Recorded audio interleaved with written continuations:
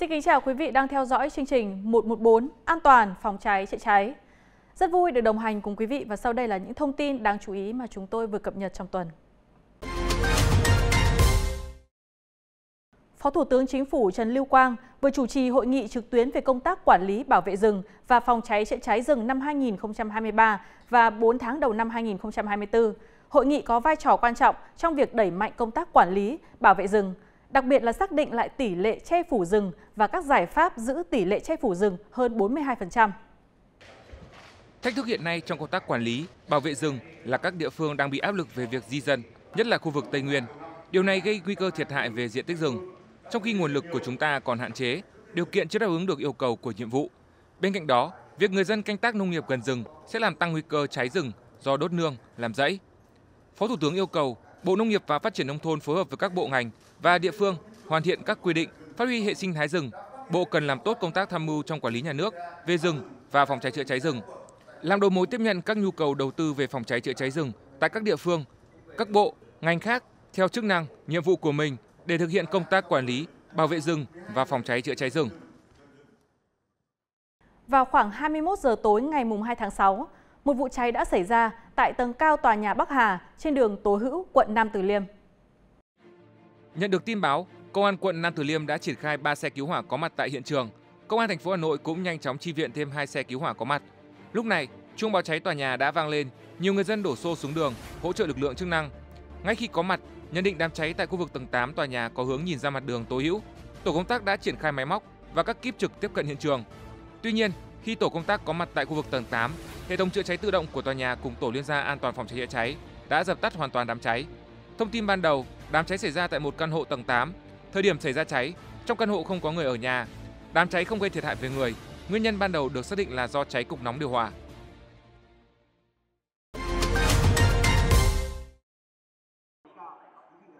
Với mong muốn rèn luyện và củng cố kỹ năng phòng cháy chữa cháy và cứu nạn cứu hộ dành cho lực lượng phòng cháy chữa cháy cơ sở, Mới đây, Ủy ban nhân dân quận Thanh Xuân đã tổ chức hội thi chữa cháy và cứu nạn cứu hộ cho lực lượng phòng cháy chữa cháy thuộc các đơn vị, doanh nghiệp trên địa bàn quận Thanh Xuân năm 2024.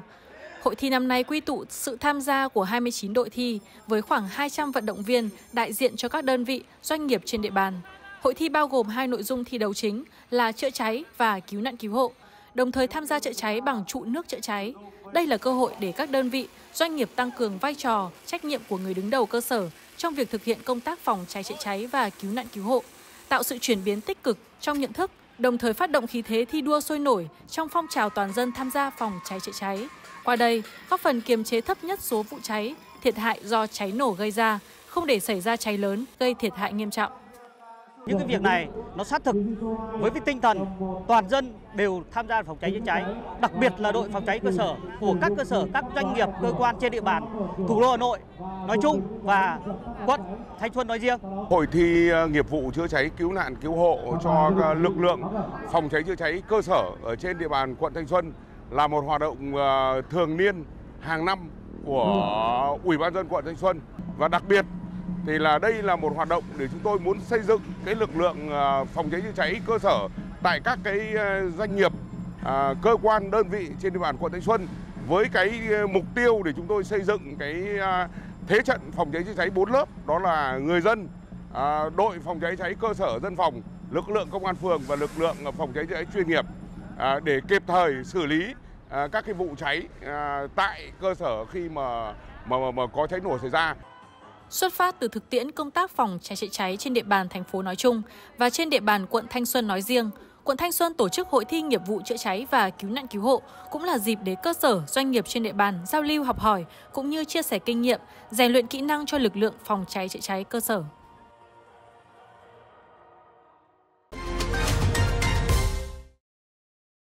Vào khoảng 5 giờ 30 phút sáng ngày 30 tháng 5 đã xảy ra vụ cháy nhà trọ 3 tầng tại tổ 1 Ba La, phường Phú Lương, quận Hà Đông. Đáng chú ý, một số người thuê trọ đã bình tĩnh thoát hiểm qua lối thoát nạn khẩn cấp sang nhà bên cạnh. Lực lượng chức năng và một số người dân đã dũng cảm kịp thời cứu được những người mắc kẹt thoát ra khỏi hỏa hoạn an toàn. Hỏa hoạn xảy ra vào buổi sáng sớm trong ngõ hẹp khiến nhiều người hoảng loạn. Trong khi người dân hô hoán, gọi cho lực lượng chữa cháy, đã có người dân dũng cảm tiếp cận hiện trường để kịp thời cứu hai nữ sinh viên mắc kẹt trên tầng 3. chỉ có một vị chạy thọc ở đây trèo lên cái mái này đập chỗ kia kìa. Đập chỗ kia không được chắc là đập cái chỗ song sắt này. Ra là đưa được hai con bé xuống bế thì đưa được hai con bé xuống đây. Làm rất là nhanh cho xuống cái là vị điên nào không không ai hỏi được biết là ai cả. Đây là anh Lành Văn Bằng, 39 tuổi, hiện ở huyện Hoài Đức, nhân viên một ngân hàng, đang trên đường đi làm, thấy cháy lớn đã không quản nguy hiểm, lao vào đám cháy, phối hợp cùng lực lượng chức năng cứu người mắc kẹt. Em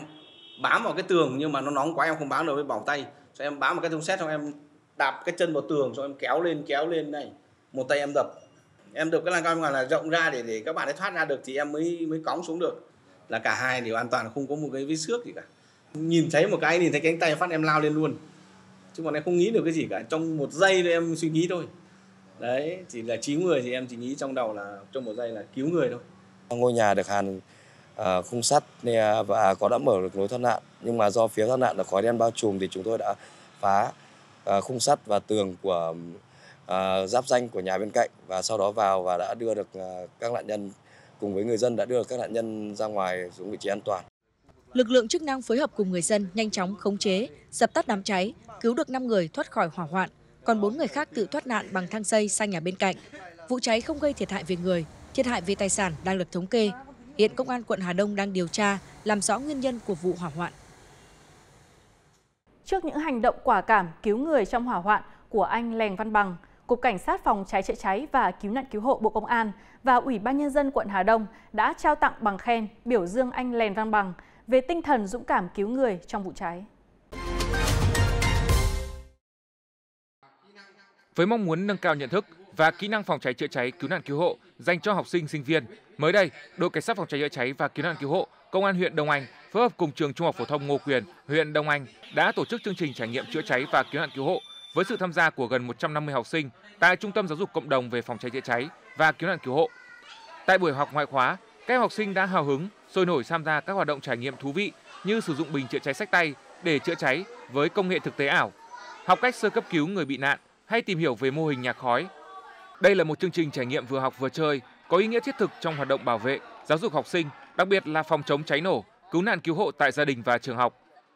Mặc dù em thấy buổi trải nghiệm hôm nay rất là mệt nhưng mà em cảm thấy rất là ý nghĩa và có rất nhiều bài học quý giá trong em ạ. Và em mong tiếp đến thì nhà trường có thể uh, uh, tạo điều kiện cho chúng em uh, được uh, hoạt động và trải nghiệm uh, thêm nhiều hoạt động mới. Thông qua các hoạt động này thì giúp các em sẽ có được những kỹ năng xử lý các tình huống cụ thể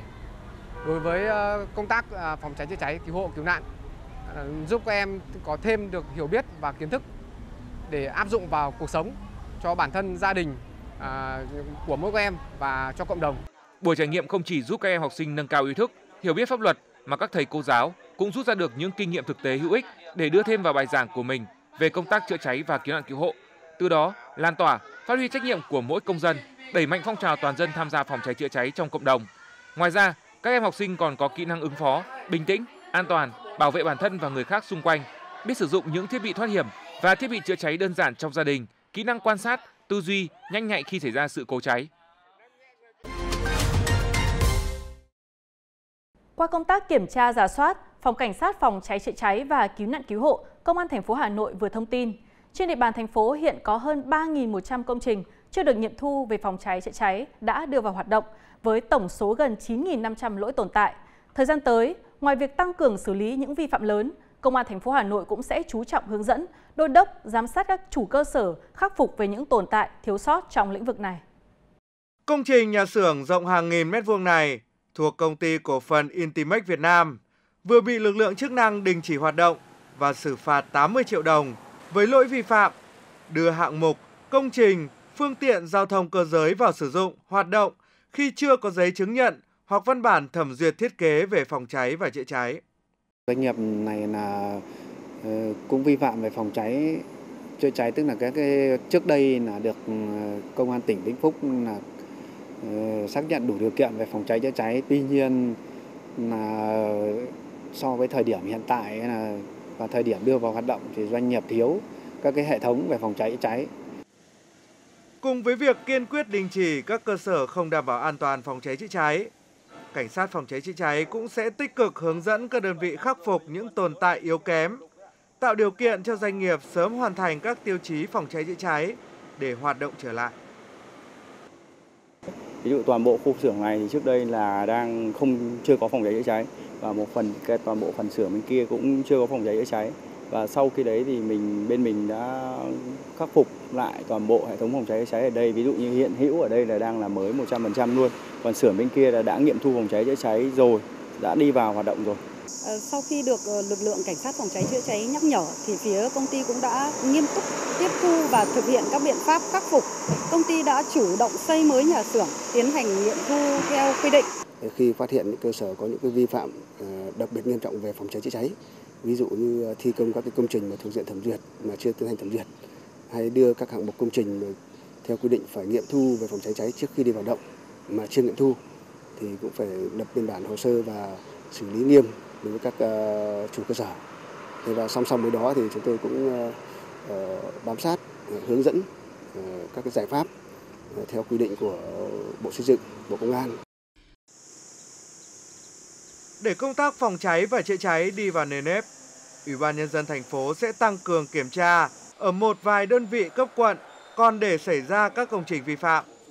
Đồng thời đề nghị các sở ngành lập tổ công tác hỗ trợ các quận huyện thị xã về phòng cháy chữa cháy và cứu nạn cứu hộ.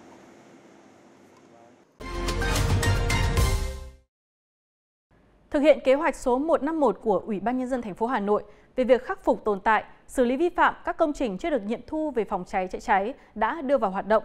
Công an quận Hà Đông đã chủ động ra soát, hỗ trợ các cơ sở xây dựng trước thời điểm luật phòng cháy chữa cháy có hiệu lực, nhanh chóng khắc phục tồn tại và xử lý nghiêm các vi phạm, đồng thời hướng dẫn các đơn vị có giải pháp tạm thời để đảm bảo an toàn trong quá trình hoạt động.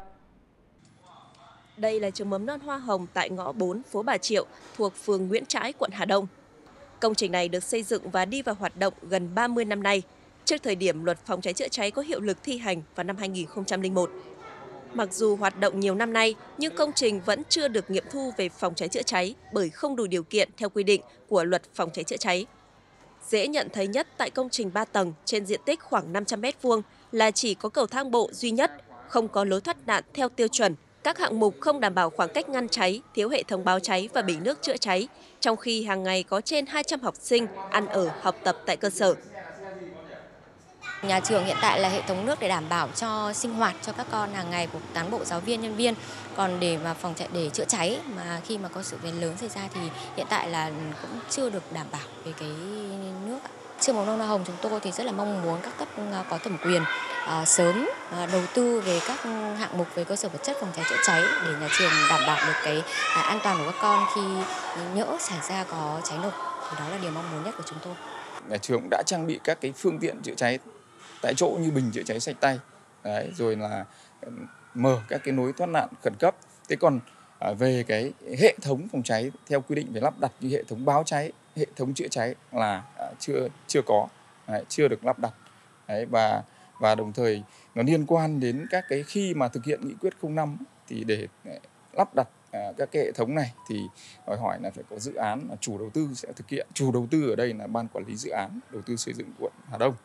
theo nghị quyết 05-2022 của Hội đồng Nhân dân thành phố, quy định việc xử lý các cơ sở không đảm bảo yêu cầu về phòng cháy chữa cháy trên địa bàn thành phố Hà Nội được đưa vào sử dụng trước khi luật phòng cháy chữa cháy có hiệu lực vào năm 2001. Toàn quận Hà Đông có 72 cơ sở có công trình xây dựng trước luật, trong diện phải điều chỉnh để đảm bảo an toàn về phòng cháy chữa cháy.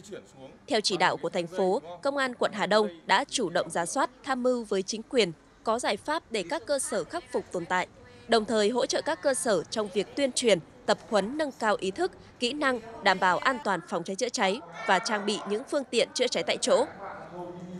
Chúng tôi đã báo cáo Ủy ban Nhân dân quận làm việc với ban quản lý dự án à, và các đồng chí đó đã xuống à, khảo sát và hồ, thiết lập hồ sơ để giúp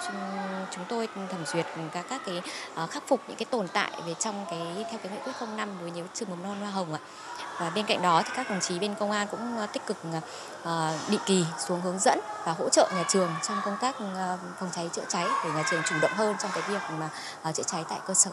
Thực hiện nghị quyết 05 của Hội đồng nhân dân thành phố thì chúng tôi đã tham mưu cho Ủy ban nhân quận ban hành các văn bản chỉ đạo các đơn vị cũng như các cái cơ sở thuộc dạng điều chỉnh của nghị quyết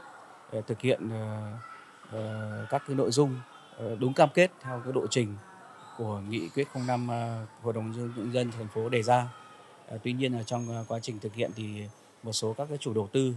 cũng như chủ cơ sở còn chưa nêu cao ý thức, tinh thần trách nhiệm trong quá trình thực hiện khắc phục các tồn tại về phòng cháy cháy thì vẫn còn những cái khó khăn liên quan đến việc mà bố trí công năng mặt bằng cũng như các cái giải pháp về ngăn cháy thoát nạn phù hợp với lại Ờ, cái điều kiện thực tế của cơ sở. Khó khăn lớn nhất trong việc khắc phục những tồn tại về phòng cháy chữa cháy ở những công trình này là vấn đề đảm bảo khoảng cách an toàn, ngăn cháy và bố trí lối thoát nạn theo tiêu chuẩn. Trong khi chờ đợi giải pháp lớn từ phía chính quyền được thực hiện để đảm bảo an toàn phòng cháy chữa cháy cho các cơ sở trong quá trình hoạt động, Công an quận Hà Đông đang tiếp tục phối hợp chặt chẽ với các cơ sở để bổ sung các điều kiện đảm bảo an toàn, phòng ngừa hiệu quả các sự cố hỏa hoạn bất ngờ. Mùa mưa bão đã bắt đầu với những trận mưa lớn và hình thái thời tiết thay đổi thất thường. Đây là một trong những nguyên nhân có thể dẫn tới chập cháy thiết bị điện, từ đó dễ sinh ra cháy lan, cháy lớn. Người dân cần chủ động phòng ngừa cũng như lắng nghe các khuyến cáo của lực lượng chức năng để có phương án sử dụng điện an toàn, đồng thời hạn chế tối đa nguyên nhân dẫn đến các sự cố không mong muốn. Kết thúc mỗi trận mưa lớn, nhân viên điện lực của huyện Mỹ Đức sẽ tiến hành kiểm tra hoạt động trạm biến áp cùng hệ thống lưới điện cơ sở. Từ đo dòng tải truyền điện, đảm bảo cân bằng giữa các pha, tới đo camera nhiệt, kịp thời phát hiện các điểm đấu nối không an toàn, tránh gây chập, cháy, hư hỏng thiết bị, dẫn tới gián đoạn cung cấp điện cho người dân. Nếu mình không kiểm tra thường xuyên và kịp thời thì mình có thể là dẫn ờ, có những cái điểm tiếp xúc của các mối nối hoặc là trên hệ thống điện của mình là khi nắng nóng thì là kéo dài thì là hiện tượng là dây nó sẽ giãn nở ra, các thiết bị nó cũng sẽ ờ, vận hành nó quá tải và có công suất. Cộng với mưa nữa vào thì nó sẽ dẫn tới hiện tượng là uh, chập cháy và làm hỏng hư hại thiết bị. Quan sát tại một hộ gia đình kinh doanh loại hình in ấn, chúng ta có thể dễ dàng nhìn thấy nguy cơ tiềm ẩn gây ra chập cháy điện ở đây. Nhiều dây dẫn chờ để lộ thiên, không được che đậy, bảo vệ, thậm chí để hở điện, rất nguy hiểm. Cắm nhiều thiết bị tiêu thụ điện vào một ổ gây hư hỏng ổ điện hay đấu nối điện tùy tiện. Sau khi được nghe giải thích, người dân đã nhận thức được nguy cơ chập cháy điện có thể xảy ra đối với gia đình mình. Do cũng một phần thì cũng chủ quan, ờ, nghĩ là các vật liệu này cũng khó thể cháy. Cái hai là các cái thiết bị máy móc mà quá quá trình ờ, sử dụng là cũng mua thêm cho nên là các cái công ổ cắm kia là thường xuyên là cứ nghĩ là cắm thêm một cái nữa là cũng không làm sao. Nguyên nhân cháy thậm chí là cháy từ cái những cái thiết bị rất nhỏ mà chủ hộ gia đình không nghĩ đến. Ví dụ như các cái ổ điện các thiết bị tiêu thụ điện mà không thường xuyên kiểm tra bảo trì bảo dưỡng dẫn các cái đầu dây mối nối không được đi trong chống viên bảo vệ không có thiết bị bảo vệ dẫn đến rất chập cháy và sẽ cháy lan cháy lớn. Thực tế tâm lý chủ quan ít quan tâm tới vấn đề phòng ngừa đã khiến phát sinh nhiều vụ cháy. Các hộ gia đình, các cơ sở sản xuất tiêu thụ điện càng cao, càng tiềm ẩn nhiều nguy cơ gây chập cháy. Nếu không đảm bảo tuân thủ việc sử dụng điện an toàn và chủ động phòng ngừa cháy nổ, nhất là trong mùa mưa bão, nắng nóng đan xen như thời điểm này. Người dân cũng nên là tắt các bị điện khi mà chúng ta không sử dụng và khi chúng ta ra khỏi nhà vào những cái giờ cao điểm thì người dân không nên sử dụng đồng thời một lúc nhiều những cái thiết bị tiêu thụ điện có công suất lớn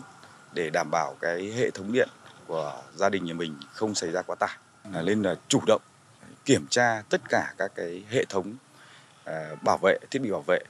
rồi hệ thống đường dây dẫn điện và các cái thiết bị tiêu thụ điện. Nếu như thấy có cái hiện tượng mà xuống cấp hư hỏng thì khẩn trương sửa chữa thay thế.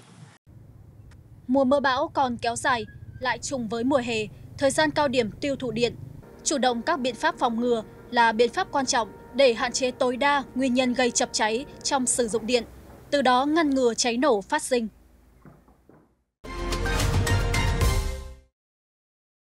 Thực hiện kế hoạch số 53 của thành phố, đến nay các địa phương, đơn vị đã xây dựng được nhiều cụm liên kết đảm bảo an toàn phòng cháy chữa cháy trong các khu vực dân cư, làng nghề và điểm công nghiệp – Mô hình này đã phát huy cao độ tinh thần phòng ngừa hỏa hoạn, sẵn sàng xử lý kịp thời mọi sự cố bất ngờ theo tinh thần 4 tại chỗ, ghi nhận của phóng viên tại huyện Thanh Trì. Đây là buổi trao đổi về cơ chế vận hành phòng cháy chữa cháy và cứu nạn cứu hộ tại cụm liên kết làng nghề Tân Triều, huyện Thanh Trì. Cán bộ PC07, đội cảnh sát phòng cháy chữa cháy và cứu nạn cứu hộ công an huyện Thanh Trì đã chỉ ra những mặt tích cực của mô hình cụm liên kết đối với 14 doanh nghiệp. Sự gắn kết, hỗ trợ sẽ đảm bảo hiệu quả cho việc phòng ngừa và chữa cháy. Mô hình tổ chức cụm an toàn phòng cháy chữa cháy là rất cần thiết. Và cái cụm này ấy, thì tôi cho rằng là cái cách tác nghiệp của người ta giảm trong những tình huống có cháy xảy ra thì rất là tốt. Bởi vì à, khi đó thì chuông nó báo cho tất cả 14 thành viên trong cụm rất liền có có địa chỉ liền kề nhau đều được biết và tại các cái, cái, cái, cái mỗi một cơ sở thì đều có đội đội phòng cháy chữa cháy riêng và người ta có các phương tiện phòng cháy chữa cháy của nhà người ta. Vậy thì khi mà nghe chuông, thì lập tức là cái đội phòng cháy người ta sẽ có tổ trưởng. Tổ trưởng là người xác định cái việc cháy thật hay cháy giả là điều thứ nhất. Thứ hai, nếu cháy thật thì người ta sẽ thông báo trên zalo cho tất cả thành viên trong đội phòng cháy cháy đến ứng cứu. Cái đơn vị ờ, tham gia cụm liên kết đã phối hợp. Thì khi có sự cố cháy xảy ra thì ờ, ờ, hệ thống chuông báo cháy báo cháy trong toàn cụm sau đó thì gọi điện thoại cho từng lãnh đạo doanh nghiệp và đội trưởng đội phòng cháy cơ sở thì khi đó họ sẽ nắm bắt được là tình hình cháy ở đâu cháy như thế nào để phối hợp với nhau thì đồng thời cái hệ thống này cũng báo cho ờ, đội cảnh sát phòng cháy cứu nạn cứu hộ ờ, thanh trì cũng rất may mắn là từ khi triển khai đến nay thì trong các cụm liên kết này cũng chưa xảy ra sự vụ gì. Đấy, nhưng mà các lần à, triển khai à, tự thực tập phương án chữa cháy và thực tập phối hợp thì họ cũng đã triển khai rất là tốt ạ. Công an huyện Thanh Trì đang thực hiện theo kế hoạch 53 của thành phố, nhân rộng mô hình cụm liên kết an toàn phòng cháy chữa cháy, triển khai một cách đồng bộ theo chỉ đạo của Bộ Công an. Để thực hiện mục tiêu này, Công an thành phố Hà Nội đã chỉ đạo các đơn vị nghiệp vụ phối hợp với các công an địa phương đẩy mạnh tuyên truyền, hướng dẫn các cơ sở khẩn trương xây dựng, nhân rộng và duy trì các mô hình thiết thực này. Qua cái theo dõi đánh giá là chúng tôi thấy rằng là hoạt động rất tích cực và rất có hiệu quả. Đấy, là với các cơ sở các đội phòng cháy cháy cơ sở đã xử lý được những tình huống cháy nổ ngay ban đầu còn những cái vụ cháy nổ xảy ra ở trên địa bàn trong khu dân cư là cái tổ liên gia và điểm chữa cháy công cộng đã phát huy rất hiệu quả, đã xử lý ừ, rất hiệu quả những cái sự cố cháy nổ trong cái ừ, giai đoạn chữa cháy ban đầu nên là trên địa bàn thành trì của tôi là không để xảy ra các vụ cháy lớn gây hậu quả thiệt hại về người và tài sản. Mô hình cụm liên kết an toàn phòng cháy chữa cháy đang được huyện Thanh Trì nhân rộng. Điều này sẽ góp phần phát huy hiệu quả tối đa công tác phòng cháy chữa cháy với phương châm 4 tại chỗ, ở trong dân đúng với tinh thần chỉ đạo của Bộ Công an, lực lượng ở trong dân, phương tiện ở trong dân, hậu cần ở trong dân và chỉ huy ở trong dân. Tình huống giả định, do sự cố chập điện đã xảy ra cháy tại khu vực chứa hàng hóa, khu vực gian hàng tại tầng 1 của trung tâm thương mại. Đám cháy phát triển nhanh chóng, bao trùm toàn bộ khu chứa hàng, lan sang khu vực bán hàng của siêu thị, nơi đang có khoảng 2.000 người đang làm việc, mua sắm. Nhiều người dân vội tìm cách thoát thân nên sự hỗn loạn diễn ra khiến nhiều người bị ngất, mắc kẹt trong đám cháy. Ngay lập tức, lực lượng phòng cháy chữa cháy cơ sở kích hoạt phương án khẩn cấp,